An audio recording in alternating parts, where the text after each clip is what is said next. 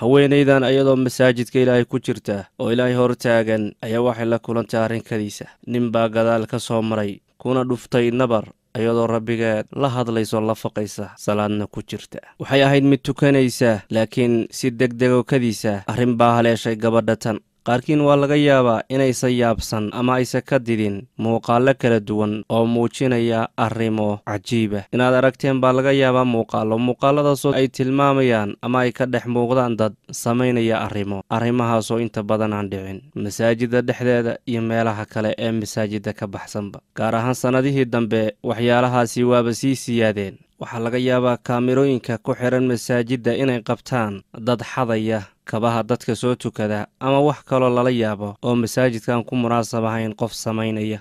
Dhacdooyinka noocaasi waxay keeneen in masaajiddii looga baahdo in lagu xidho kaamirooyinka ammaanka ee wax ilaaliya. Waayo casrigii waa isbedelay oo kii hore ma ahan. Hase ahaatee kelmaddeennan muuqaalka ama qisada iyo dhacdada uu ka warramayo waxaa weeye ee aan idinkugu soo gudbinayno arrin la yaab leh boqolkiiba boqol. Arrinkaasna waxaa duubtay kaamirada masaajidka arrintaasi ay ka dhacaysay ku xirnayd. Arrinkanna wuxuu ka dhacay mid ka mid a waddamada muslimka gabadha tani waa mid da'yar oo dhallinyaro ah. Waxay ku tukanaysaa masaajidka dhexdiisa keligeedna weeye goor dambe ayay ka timid imtixaankii jaamacadda oo ay soo gelayso ay ku soo daahday. Salaaddii mar horaa laga baxay wakhtigeediina waa sii gabaabsi wakhtigaas ugu dambeeyey ee salaadda ayay ka soo gaartay. Masaajidkii cidla ayay soo gashay gaar ahaan qaybta loogu talagalay dumarka. Siday doontaba ha noqotay inta ay salaadda ku jirtay waxaa masaajidkii ugu soo galay iyo meeshaay ku tukanaysay. Nin da'diisu ay weyn tahay. Kaamiradduna waxay qabatay ninkaasoo si deg dega ugu soo orday gabadha iyadoo tukanaysa oo sii jeeda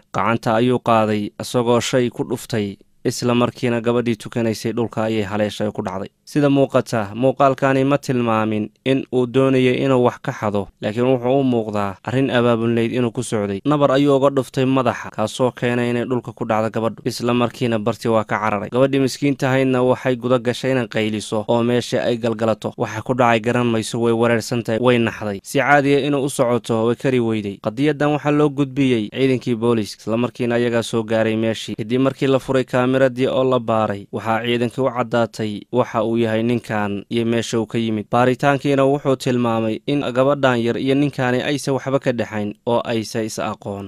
Muuqaalka kani waayihii dambe wuxuu kiciyey dood xagga warbaahinta ah. Dadkuna waa hadal hayeen. Waxaad arkaysaa muuqaallo kala duwan oo tilmaamaya amaad ku dhex arkaysaa waxyaalo aad qariibsatid oo la yaab leh gaar ahaan waxyaalahaasoo ka dhacaya masaajidda ilaahay. Masaajiddaasoo ku yaalla meelo kala duwan oo caalamka ka mid a inta badan waxaa isdhihi kartaa kaamirooyinkani faa'iidooyinka lagu qabo aad bay u badan yihiin. Waxyaalaha cajabtal ay qabanayaanna aad bay u tiro badan yihiin. Ilaa looga baahday masaajiddii si ammaanka masaajidda loo ilaaliyo